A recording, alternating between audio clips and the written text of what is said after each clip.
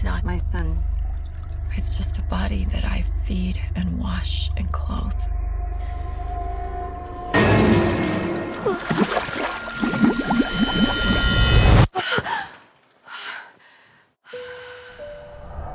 Hi, Mary. Hi, Dr. Wilson. How's Stephen doing?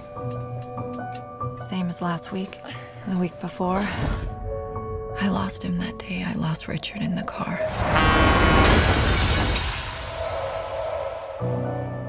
Your next patient is waiting for you in the office. He's dealing with a lot of grief after his mom died.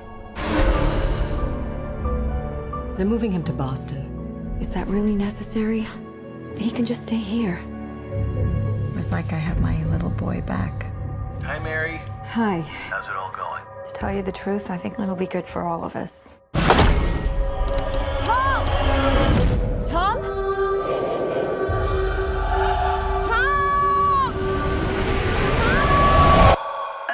Authorities have stated the missing child could not have survived the severe drop in temperatures. I feel so guilty. You cannot blame yourself. I haven't been sleeping that well.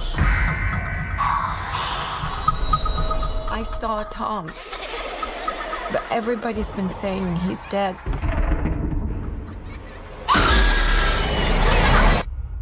Your sleep problems are making it difficult for you to distinguish your nightmares from reality.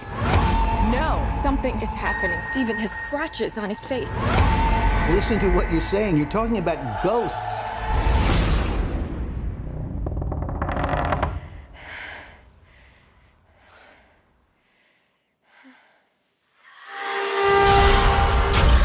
Something's going on, and it's not just in my head. I can prove it.